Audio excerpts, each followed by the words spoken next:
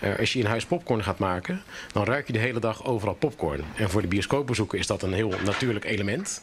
Maar als je hier overdag bent als eh, ja, congresbezoeker, dan zit je misschien minder te wachten op die popcornlucht. De congresbezoekers mogen dus geen popcornlucht ruiken. Wat eigenlijk best wel raar is, want het grootste eh, con- congres wat ze organiseren in Utrecht... dat is inderdaad de Kama Sutra-beurs. Ook deze maand weer, 27, 28 en 29 september, organiseren ze dat daar. En ja, dan, ik, ik denk gewoon dat ze daar wel dol zijn op popcorn. Ik ga gewoon even vragen aan de expert. En eh, die expert is, even kijken, ja, Kim. Hey, Kim, ja. Eh, hoe gaat ie? Kun je me horen?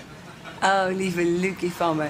Ik kan je uitstekend horen. Mooi. Je bent op vakantie, Salau. Fijn dat we je even mogen bellen. Eh popcornlucht, vind je dat vies?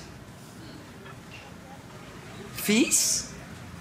Ik vind de geur van popcorn het allerlekkerste wat er is. Ik maak zelf graag een bakkie klaar als ik mijn eigen films kijk. Ik word van die lucht dan zo verschrikkelijk gek. Ah, la,